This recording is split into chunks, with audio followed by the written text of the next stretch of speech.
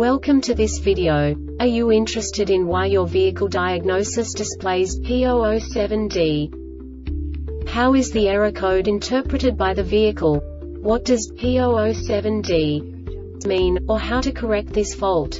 Today we will find answers to these questions together. Let's do this. First, let's look at the history of diagnostic fault code composition according to the OBD2 protocol, which is unified for all automakers since 2000. We divide the electric system of automobile into the four basic units.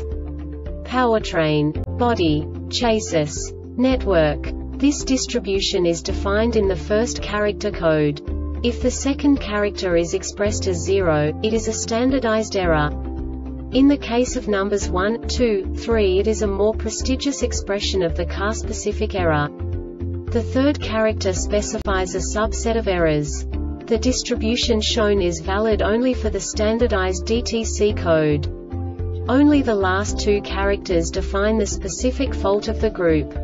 Let's not forget that such a division is valid only if the other character code is expressed by the number 0. Our website airbagreset.sk produces useful videos for you. You do not have to go through the OBD2 protocol anymore to know how to troubleshoot any car breakdown. You will find all the diagnostic codes that can be diagnosed in a Alfa Romeo vehicles. Also many other useful things. The following demonstration will help you look into the world of software for car control units. You unbelievably can move the video a bit further. The error code is split into two bytes consisting of 16 bits. One bit is the basic unit that each computer works with. The bit has two logical states. 0, low level, 1, high level. By combining the first two bits, the basic character of the error code is expressed. The next two bits again determine the second character. The last bit styles of the first byte define the third character of the code. The second byte is composed of a combination of 8 bits. The first 4 bits determine the fourth character of the code.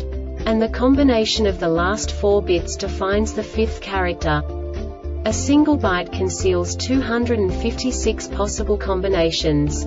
We now know in what way the diagnostic tool translates the received information into a more comprehensible format. The number itself does not make sense to us if we cannot assign information about it to what it actually expresses.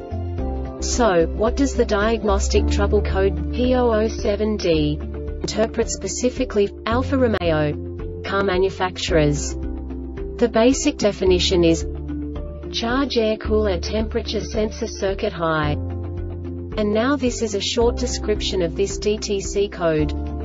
The powertrain control module detects the charge air cooler CAC temperature sensor voltage is above the maximum calibrated threshold. This diagnostic error occurs most often in these cases. CAC temp signal circuit shorted to voltage CAC temp signal circuit open or high resistance sensor ground circuit open or high resistance CAC air temperature sensor powertrain control module PCM. The Airbag Reset website aims to provide information in 52 languages. Thank you for your attention and stay tuned for the next video.